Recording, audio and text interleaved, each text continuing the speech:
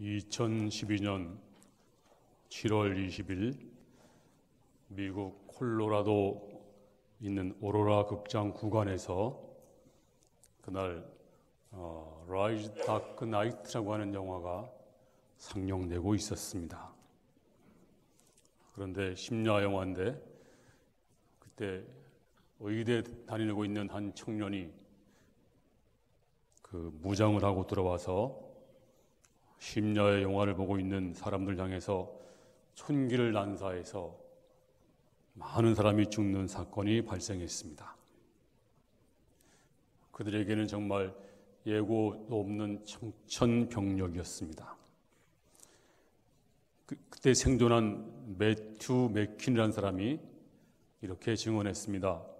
처음에 총소리가 났을 때 전쟁 영화니까 뭐 영화 한 장면이겠지. 그리고 다들 아무도 인식을 하지 못했습니다. 거기 앉아 있는 모든 사람들이 영화니까 뭐 스피커에서 나는 소리, 소리인가 보다. 그리고 태연이 영화를 즐기고 있었습니다. 그 옆 사람이 죽어 나갔습니다. 그때도 사람들이 아, 이건 영화관에서 특별히 우리에게 서비스한 이벤트구나. 그래서 아무도 그 대처를 하지 않았습니다. 한참 지나서야 아 이게 영화도 아니고 이벤트도 아니고 이게 실제구나. 그리고 몸을 피했지만 이미 때는 늦어서 수많은 사람들이 희생을 당했습니다. 불행한 일이지만 그날 참변을 당한 사람들은 아무도 상상을 못한 예고 없는 불행이었습니다. 바로 주님 오시기 직전의 모습이 이러지 않을까. 오늘 33절에 주의하라 깨어 있으라 그때가 언제인지 알지 못함이라. 또 36절 말씀에도 그가 호련히 와서 너희가 자는 것을 보지 않도록 하라. 우리 주님이 호련히 순식간에 오십니다. 그러면 구원받은 저와 여러분들은 구원과 축제 시간입니다. 정말 주님의 재림을 기다린 사람에게는 얼마나 행복한 일이겠습니까? 그런데 주님의 재림을 준비하지 못한 사람들에게는 바로 그 시간이 멸망의 시간이고 심판의 시간입니다. 우리가 주님의 재림을 생각할 때, 아, 주님의 재림은 한 번 오시나 보다. 그런데 성경을 잘 보면 한 번이 아니고 두 번입니다. 한 번, 첫 번째 재림은 공중 재림이십니다. 그러면 우리 성도들이 휴거를 당합니다. 그리고 공중에서 주님을 맞이하고 어린 양의 혼인잔치가 열린다. 성경은 그렇게 말씀하고 있습니다. 그 다음에 지상 재림이 있습니다. 그때는 심판주로 오시는 것입니다. 이 땅을 심판하러 오시는 지상 재림, 그러니까 공중 재림이 한 번 있고 지상 재림이 한 번 또 있어서 네, 두번 재림하신다 하는 것을 알 수가 있습니다. 먼저 공중 재림하시면 먼저 구원받은 성도들 다 무덤에서 일어나서 이제, 이제 주님을 맞이합니다. 그리고 저와 여러분도 다 주님을 맞이합니다. 이걸 가리켜서 휴거라 그렇게 말합니다. 이 모습을 마태복음 24장 40절은 이렇게 말씀해 주고 있습니다. 그때 두 사람이 밭을 밭에 있음에 한 사람은 데려감을 데려가고 한 사람은 버려둠을 당할 것이요. 두 여자가 맷돌질을 하고 있음에 한 사람은 데려가고 한 사람은 버려둠을 당할 것이니라. 그러므로 깨어 있으라. 어느 날에 너희 주가 임할는지 너희가 알지 못함이라. 하시면서 그날이 도덕같이 올 텐데 이제 주님이 공중 재림하시면 다 구원받는 것이 아니고 한 사람은 구원받고 한 사람은 버림을 당하고 또 잠을 자다가도 한 사람은 휴거를 당하고 한 사람은 버림을 당하고 네, 이렇게 말씀해 주고 있습니다. 그러면 이 주님이 공중 재림이 하시기 직전에 어떤 일이 벌어질까요? 오늘 본문에 보니까 지난주에 이어서 오늘은 이제 두 번째 시간을 가져보겠습니다. 먼저 우리 성도들에게 또 우리 믿는 사람들에게 큰 핍박, 박해가 있을 것이다. 이렇게 말씀해 주고 있습니다. 자, 구절 말씀을 이제 다 같이 읽겠습니다. 시작. 너희는 스스로 조심하라. 사람들이 너희를 공회에 넘겨 주겠고 너희를 회당에서 매질하겠으며 나로 말미암아 너희가 권력자들과 임금들 앞에 서리니 이는 그들에게 증거가 되려 함이라. 많은 핍박이 있을 것이다. 이걸 가리켜서 대핍박, 네, 대환란, 대박해 네, 그렇게 말하고 있습니다. 우리가 교회사를 공부합니다. 거기 보면 기독교는 한마디로 말하면 어, 핍박의 역사입니다. 그리고 교회는 이 박해와 함께 성장하는 것을 알 수가 있습니다. 제가 오래전에 로마를 한번 방문한 적이 있습니다.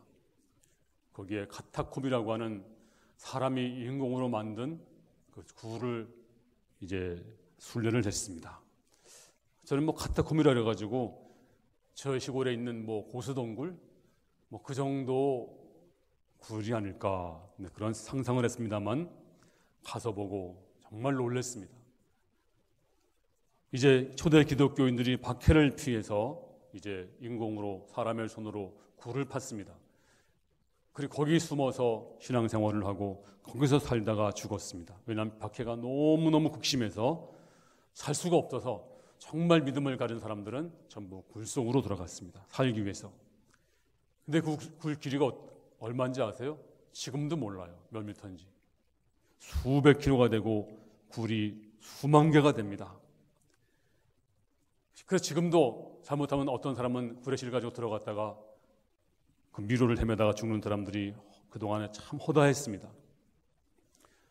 지금부터 10년 전에도 일본인 관광객이 들어가지 마시오라고 하는 곳에 들어갔다가 결국 못 나와서 시체로 발견된 적도 있었습니다. 옛날 로마 군인들도 알았습니다. 이 땅 속에 그리스도인이 살고 있다는 걸 알면서도 들어가면 전부 죽었어요. 미로가 얼마나 복잡한지 나올 길이 없습니다. 헤매다가 죽는 게. 거기서 사는 기독교인밖에는 모르는 그런 비밀의 미로입니다. 근데 거기서 옛날에 전기도 없었는데 어떻게 이런 굴을 팠을까? 정말 불가사의한 일이 아닐 수가 없습니다. 그, 하지만 문제는 무엇일까요? 우리 신앙생활, 우리 신앙의 선조들은 바로 여기서 신앙생활을 했습니다. 지금도 가면 거기에 남아있는 해골들 또는 글씨들이 있는데 이것이 바로 그리스도인이라고 이것이 바로 기독교라고 이것이 바로 믿음이라고 우리에게 소리 없는 언어로 우리에게 말씀해 주고 있습니다. 바로 초대, 초대 기독교는 이렇게 시작을 했습니다. 박해가 끝난 다음에도 카타콤은 성도들의 신앙의 고향이 되었습니다. 이 기독교는 화려한 성전이 마음의 고향이 아닙니다. 사실은 로마 그 베드로 성전 같은 화려한 성전을 지은 후부터 기독교는 무너진 것입니다. 오히려 저 동굴 속에서 수십만 명 기독교인들이 거기서 신앙을 지키다가 즐거운 몸으로 죽었지만 이것이 기독교인들의 마음의 고향입니다. 최초의 교회는 사도행전의 교회입니다. 사도행전 교회는 거기 앞만 봐도 기복 사상이 없습니다. 그 초대교회를 가만히 보세요. 거기 예수 믿고 복을 받고 잘 되고 출세하고 성공하고 그런 얘기는 초대교회 안에는 없었습니다. 물론 예수 믿으면 복을 받지 못한다는 것이 아닙니다. 다 복을 받습니다. 그런데 그것이 목적이 아닙니다. 초대교회 성도들은 오히려 축복 대신에 핍박을 받았습니다. 주께서 말씀하신 나를 따라오려거든 자기를 부인하고 자기 십자가를 지고 나를 따르라 이 말씀을 문자 그대로 믿었습니다. 너희가 영생을 얻기 위해서는 핍박을 받아야 하느니라 이 말씀도 그대로 받아들였습니다. 십자가는 추상적인 얘기가 아닙니다. 십자가는 달려 죽는 것입니다. 오늘 주께서 말씀하시기를 오늘 구절 말씀에 다시 한번 보면 맨 마지막에 이는 그들에게 증거가 되려 함이라. 왜 너희가 핍박을 받느냐? 너희가 왜 이렇게 모진 박해를 받는가? 그 이유가 뭐냐? 그 목적이 뭐냐? 바로 증거되기 위해서, 전파되기 위해서, 너희가 핍박을 통해서 이 복음이 전파되기 위해서 너희 우리는 핍박을 받는다. 이렇게 말씀하고 있습니다. 이 증거라고 하는 말을 원어 성경에 보니까 마투리아라는 말씀이 있는데요. 영어에 마투가 있습니다. 마터가 있습니다. 영어에 마터. 이 마터라고 하는 말은 순교자입니다. 그러니까 이 증인 마투리아, 네, 마터, 증인이 곧 순교입니다. 목숨 걸고 본 것을 증거하는 것이 바로 증거입니다. 증인입니다. 자, 이래서 주께서 승천하시기 전에 이렇게 말씀했습니다. 사도행전 1장 8절에 오직 너희에게 성령이 마시면 너희가 권능을 받고 예루살렘과 온 유대와 사마리아와 땅 끝까지 이르러 내 증인이 되라. 마터가 되라. 순교자가 되라. 그렇습니다. 우리 주 예수님은 우리에게 복음을 전파라, 가르쳐라, 봉사라 이런 말씀을 말씀을 많이 했지만 가장 중요한 마지막 말씀 우리에게 주신 최후의 말씀은 무엇입니까? 너희가 증인이 되어라. 마터가 되어라. 순교자가 되어라. 오늘 정치적 욕망을 가지고 제자들이 주님을 따랐습니다. 이제 주께서 왕이 되시면 한 달이 하려고 줄 세우기 있었는데 그들을 앞에 놓고 말하기를 너희가 이제 박해를 받을 것이다. 너희가 공에 끌려가야 될 것이다. 너희가 매질을 당할 것이고 너희가 미움받을 것이고 이제 쭉 오늘 성경 읽어보면 아버지가 자식을 죽는 데 내어주고 자식이 아버지를 죽는 데 내어주고 너희가 이제 순교할 것이다. 왜 그랬을까요? 왜 이 고난과 박해가 필요합니까? 우리가 평안할 때는요, 정말 진리가 드러나지 않습니다. 우리가 파티 열고 축배를 하고 브라보 외치고 이럴 때는 전부 가식적이고 외식, 외교적인 용어가 가득하고 거짓말이 많이 있습니다. 그런데 어려움 속에 있을 때, 고난 속에 있을 때, 박해를 받을 때, 그때는 참이 드러납니다. 진리가 드러납니다. 어, 어느 성도님의 간증을 제가 들었습니다. 이분이 6.25 때 끌려가서 매를 맞았는데요. 일생에 그렇게 많은 매를 맞아본 적이 없었대요. 뭐 죽도록 맞았대요. 너무너무 아프니까 감옥에 들어가서 너무 아프고 너무 서럽고 그래서 훌쩍 저 울고 있는데 컴컴한 데서 그렇게 울지 말게. 인생은 다 그런 거야. 누구세요? 얼굴은 안 보이지만 한 사람이 앉아 있었습니다. 거기서 몇 말을 주고받았는데 바로 그분이 목사님이었대요. 그래서 거기서 복음을 받아들이고 예수를 믿었대요. 그렇습니다. 선교 역사에서 고난, 박해, 질병을 통하지 않고는 복음 전파된 역사가 별로 없습니다. 그러므로 고난은 선교적으로 절대로 필요한 것입니다. 그러므로 고난 중에 복음이 전해지고 전파되는 것입니다. 저도 부유한 사람에게 선물을 한번 해본 적이 있습니다. 근데 부유한 사람에게는 선물 줄 게 없어요. 줄 게 하나도 없습니다. 근데 어려운 사람에게는 줄 게 너무나 많습니다. 어려운 사람은 조그마한 것도 귀한 것입니다. 우리가 언제 복음이 전파되나요? 어려울 때 전파되는 것입니다. 그래서 오늘 너희가 왜 핍박받느냐? 너희가 왜 고난받느냐? 바로 증거되기 위해서, 복음이 전파되기 위해서, 참 복음이 드러나기 위해서 너희가 고난을 받아야 하느니라. 그 다음에 핍박받을 때 우리가 어떻게 해야 될까요? 오늘 본문 11절은 이렇게 말씀하고 있습니다. 다 같이 읽겠습니다. 시작. 사람들이 너희를 끌어다가 넘겨줄 때 무슨 말을 할까 미리 염려하지 말고 무엇이든지 그때 너희에게 주시는 그 말을 하라 말하는 이가 너희가 아니요 성령이시니라 주께서 부탁하시기를 너희가 고난 받을 것이다 너희가 이제 능력을 받을 것이다 그때 신문 당할 때 매를 맞을 때 염려하지 마라. 모든 걸 다 하나님께 맡겨라. 왜냐하면 내가 너 입에 말을 주마.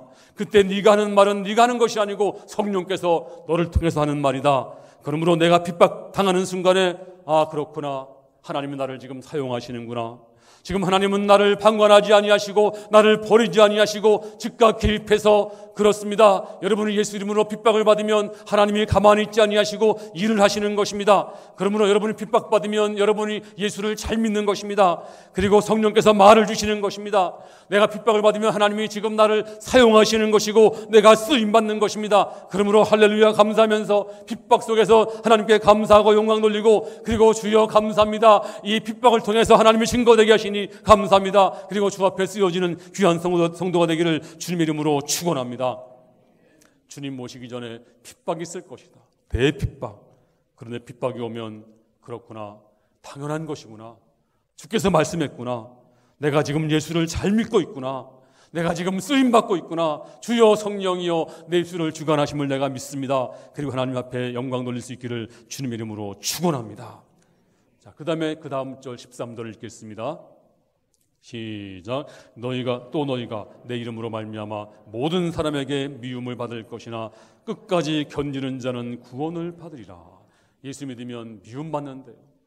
미움 받는데요. 주님의 이름으로 말미암아서. 하지만 끝까지 견디는 자는 구원을 받으리라. 그러므로 미움 받더라도 예수 의지하시고 끝까지 견디시기를 바랍니다. 매를 맞더라도, 맞더라도 욕을 먹더라도 예수 이름 붙잡고 절대로 부인하지 마시고 오직 예수 이름으로 견디시기를 주 이름으로 축원합니다. 마지막에 순교당하더라도 이것이 주여 감사합니다. 내가 예수 이름으로 순교당하게 됨을 감사하면서 영광 돌 수 있기를 주님 이름으로 축원합니다.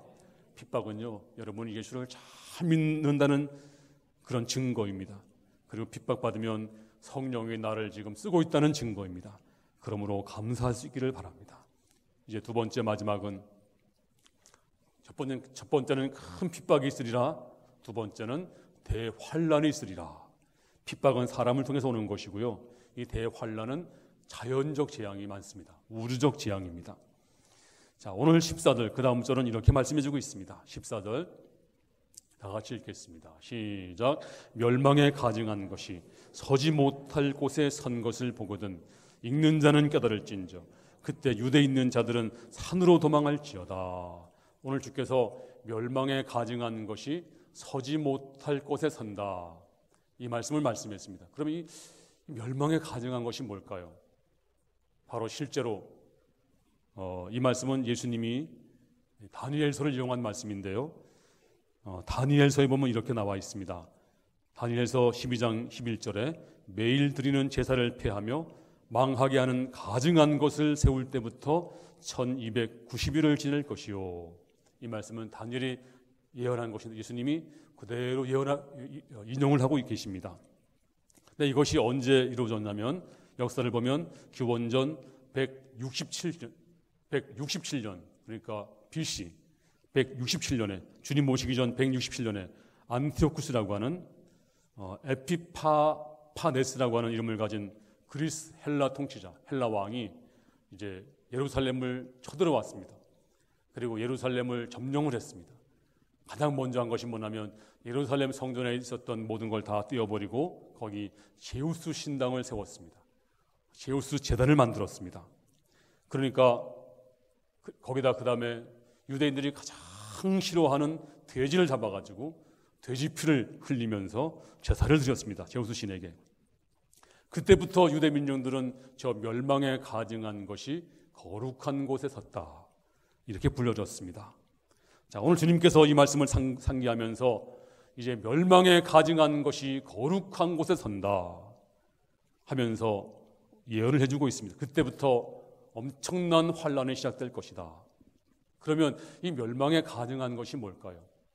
많은 신학자들과 많은 목사님들은 이렇게 말합니다. 한 두 가지를 말하는데요. 첫 번째는 지금도 예루살렘 성전에 성지에 가면 예루살렘 성전 있던 자리에 뭐가 서 있나요? 네, 모슬림이 모스크, 네, 모슬림 사원이 지금도 거기 서 있습니다. 그게 멸망에 가증한 것이 아니겠는가? 네, 그렇게 말씀하는 분도 있고 또 많은 분들은 아니다. 이 말씀에 하나님 자리에 앉은 적그리스도, 이 적그리스도가 이단이 하나님 자리에 앉아서 이 멸망에 가증한 것이 하나님 자리에 앉아 있는 것 이것이 바로 멸망에 가증한 것이다. 자, 이게 뭐 이게 무엇인지 알 수 없지만 주님만 아시는 것이죠. 그런데 문제는 이때부터 전무후무한 대환란이 시작되는데 이 환란은 상상을 초월한 것입니다. 어느 정도일까요? 자, 그 다음 절 보겠습니다. 15절. 시작. 지붕에 있는 자는 내려가지도 말고 집에 있는 무엇을 가지러 들어가지도 말며 밭에 있는 자는 겉옷을 가지러 뒤로 돌이키지 말지어다. 이 환란이 임할 때 사람들이 지붕에서 내려오지 말래요. 내려오다 죽는데요. 또 집에 있는 자는 집에 뭘 가지러 가지 말래요. 그럴 시간이 없대요. 밭에 있는 자는 겉옷, 겉옷이 얼마나 필요합니까? 피난 가려면. 근데 겉옷을 가지러 가지 말래요. 마치 화산이 폭발하면 용암이 막 밀려올 때 사람들이 도망가야 삽니다. 아, 도망가도 못 살잖아요. 얼마나 용암이 빨리 내려오는지. 네, 그걸 정상하면, 상상하시면 되겠습니다. 자, 이 환란이 어느 정도인가 볼까요? 자, 19절 말씀 보겠습니다. 그 다음 절. 19절 시작.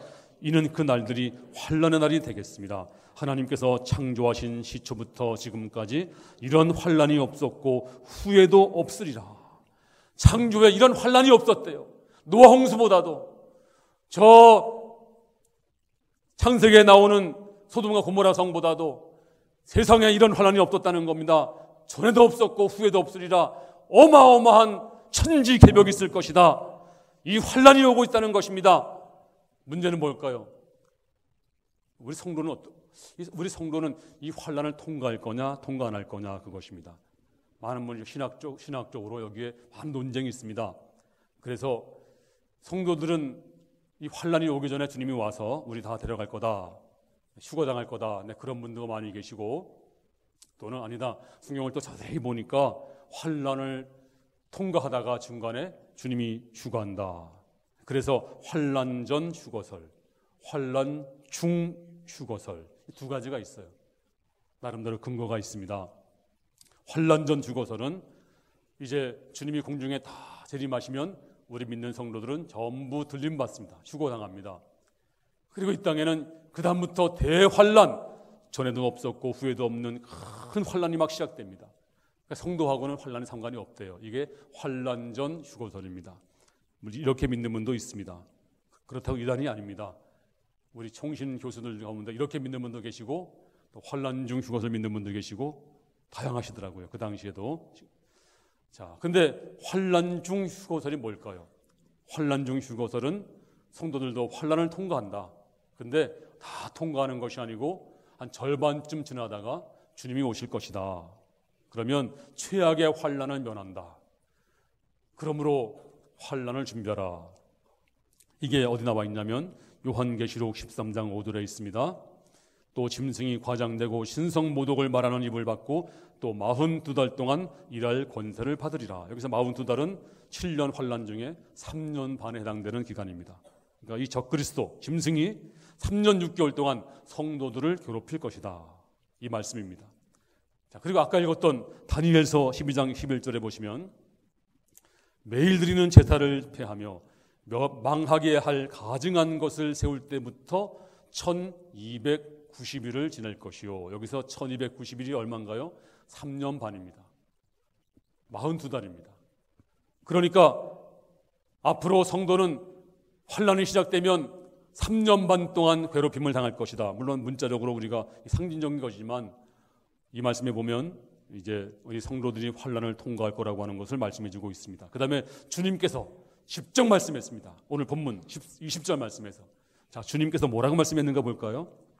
자, 다 같이 시작.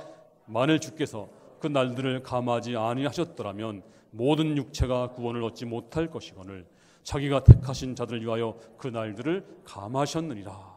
주께서 말씀하시기를 만약 내가 그 날을 감하지 아니하면 감하지 아니하면 너희가 어떻게 구원받겠는가? 그 모진 그 모진 환란을 그 모진 대환란을 너희가 어떻게 통과하겠는가? 그러면 내가 성도 너희를 위해서 그 날을 감하였느니라. 그렇습니다. 이제 중요한 것은 주님은 다시 오시고 성도는 휴거를 당하고 마지막에 심판이 있다는 것입니다. 그 대환란이 어떻게 시작되나요? 오늘 24절에 이렇게 시작되고 있어요. 그때 그 환란 후에 해가 어두워지며 달이 빛을 내지 아니하며 별들이 하늘에서 떨어지며 하늘에 있는 권능들이 흔들리리라. 이것은요 어마어마한 천지의 개벽입니다. 천, 천 지축이 흔들리는 상상도 못할 환란이 지금 이제 벌어지고 있는데 이 환란을 구체적으로 기록한 것이 바로 요한계시록 6장입니다. 다니엘서도 있고요. 요한계시록 6장에 보니까 이제 천사가 나타나서 일곱 인을 띄는데 인을 뛸 때마다 말이 나타나고 막 이제 엄청난 재앙이 오고 전쟁이 일어나고 대기근이 오고 그리고 청백, 청백한 청백말이 나오니까 지상의 인구 20, 25%가 죽는데 10억이 죽는 네, 그런 전쟁 기근 전염병이 오고 한 해와 달이 피가 되고 그리고 땅과 바다가 3분의 1이 이제 타고 피가 되고 그리고 정갈이 쏘고 사람들이 죽기를 원해도 죽, 음이 사라져 버리고 그리고 요한계시 13장에 보니까 거기에 짐승의 표가 나옵니다. 짐승의 표를 안 받으면 이제 살 수가 없고 심승의 표가 666표인데 이거를 이것 때문에 순교자가 많이 나오고 그리고 대접을 쏟으니까 큰 헌대가 막 오고 해가 불 사람을 막 태워버리고 그 다음에 아마겟돈 전쟁이 준비가 되고 그리고 바벨론이 무너지면서 세상은 끝나는 것이 바로 요한계시록입니다. 근데 지금을 보십시오. 바로 지금이 그때입니다. 이 큰 대핍박 여러분들이 아니 목사님 저 핍박을 안 받고 있는데요. 지금 이 땅에 핍박이 없는 나라 그렇게 많지 않습니다. 지금 중동에서는요 예수 믿다가 발각되면 사형입니다. 제가 목이 잘라지는 순교당하는 동영상을 받아봤습니다. 선교사님에게 며칠 동안 잠을 못 잘 정도예요. 저들은 무지막지합니다. 예수 믿으면 목을 자릅니다. 지금도. 그리고 저 북한에 가보세요. 교회가 있나요? 중국에 가보세요. 십자가 다 헐려지고 지금도 엄청난 핍박, 청교사들 다 추방을 당하고 있습니다. 신앙의 자유가 있는 나라 많지 않습니다. 지금도 핍박이 온 세상을 휩쓸고 있는데 예수 이름 때문에 많은 분들이 고통을 겪고 핍박을 당하고 있습니다. 오늘 28절을 보겠습니다. 본문 시작 무화과 나무 비유를 배우라 그 가지가 연하여 지고 잎사귀를 내면 여름이 가까운 줄 아나니 이와 같이 너희가 이런 일이 일어나거든 인자가 가까이 곧 문 앞에 이른 줄 알라. 이 말씀을 세대주의자들이 해석한 걸 제가 입수했는데요. 이렇게 해석을 했습니다. 그들은 우리 개혁주의하고 조금 다르지만 일리가 있는 것 같아서 제가 인용해 드리겠습니다. 여기서 무화과 나무라고 하는 것은 이스라엘 국화입니다. 우리나라는 무궁화잖아요. 근데 무화과 나무가 잎을 가지가 연해지고 잎사귀를 내면 이 말씀의 뜻을 영적으로 풀이하면 이스라엘 나라가 망했다가 다시 독립을 할 것이다. 독립을 하는 것이 잎사귀를 내는 것이다. 언제 독립했느냐? 1948년 5월 14일 날 이제 독립을 하고 잎사귀를 냈습니다. 그런데 이런 일이 있으면 뭐라 그랬어요? 인자가 가까이 곧 문 앞에 이른 줄 알라. 이스라엘이 독립하거든 네, 주님이 재림이 곧 문 앞에 이르렀다. 자, 그 다음 절이 중요합니다. 30절. 시작. 내가 진실로 너희에게 말하노니 이 세대가 지나가기 전에 이 일이 다 이루리라. 이 세대가 지나가기 전에 한 세대가 지나가기 전에 주님께서 오신다는 말씀입니다. 우리가 주님의 재림의 시와 다른 알 수가 없습니다. 하지만 영적으로 깨어 있는 사람들은 직감할 수가 있습니다. 언제 올지. 그럼 한 세대가 언젠가요? 1948년부터 시작해서 한 세대는 40년 치면 벌써 지나갔고요. 70년을 치면 바로 올해가 70년입니다. 80년 치면 10년 후가 되는 것이고 한 세대 그렇게 긴 것이 아닙니다. 한 세대가 지나가기 전에 주께서 오신다고 약속했습니다. 그러므로 오늘 33절에 주의하라 깨어 있으라 그때가 언제인지 알지 못함이라 36절에 그가 호련히 와서 너희가 자는 것을 보지 않도록 하라. 그렇습니다. 이제 우리가 해야 될 것이 무엇입니까? 주의하라, 깨어 있으라. 깨어 있어야 됩니다. 깨어 있는 것이 뭘까요? 바로 열처너 비유에서 주께서 분명히 말씀했습니다. 열처너 모두 다, 다 등불을 준비하고 기름을 준비했습니다. 준비 안 한 게 아니에요. 불행하게도 다섯 처녀는 기름을 충분히 준비하지 못했습니다. 하지만 다섯 처녀는 기름을 충분히 준비해서 주님 오시는 그날에 다 초청을 받고 그리고 주인의 즐거움에 참여했습니다. 그런데요, 다섯 처녀는 기름 준비를 잘 못했어요. 하긴 했지만. 그래서 성경을 보면 이 등이 무엇이냐? 예복이 구원의 예복이고 등불 기름은 성령의 기름이 아니겠는가? 우리가 성령 충만의 충만을 받아야 됩니다. 우리가 정말 주님 안에서 바른 믿음을 가져야 됩니다. 믿음 갖지 못한 데는 주님 오시는 날에 영접할, 주님을 영접할 수가 없습니다. 그리고 한 사람은 데려감을 당하고 한 사람은 버려둠을 당하고 다 구원받은 것이 아닙니다. 50%밖에 구원받지 못했습니다. 아니 어떤 분은 말하기를 10%도 구원받지 못한다고 말합니다. 그러므로 지금은 영적으로 긴박한 때입니다. 지금은 너무나 긴박한 때입니다. 이제 주님이 오실 날 이제는 주님이 문만 열면 되십니다. 이제 문 앞에까지 왔습니다. 그러므로 이 시간 우리는 오늘 죽어도 나는 구원을 받을 수 있는 확신이 있어야 되고요. 그리고 우선순위는 저 하늘나라 이 땅이 아니어야 됩니다. 저는 여러분께 감히 말씀드리고 싶은 게 하나가 있습니다. 예배가 우선순위가 아닌 사람이 어떻게 주님 오시는 그날에 영접할 수 있을까? 여러분 기름이 뭘까요? 바로 성령의 기름이고 우리의 믿음의 기름인데 예배를 우선순위가 아닌 사람이 어떻게 주님을 맞이할 수가 있을까요? 예를 들어서 주일 예배 시간에 주님이 오신다면 많은 여러분이 예배 시간에 여기 있지 아니하고 차 타고 놀러 가게 되면 그 사람이 들림 받을까요? 저는 그 사람이 들림 받을 확률은 0.1%도 없다고 믿습니다.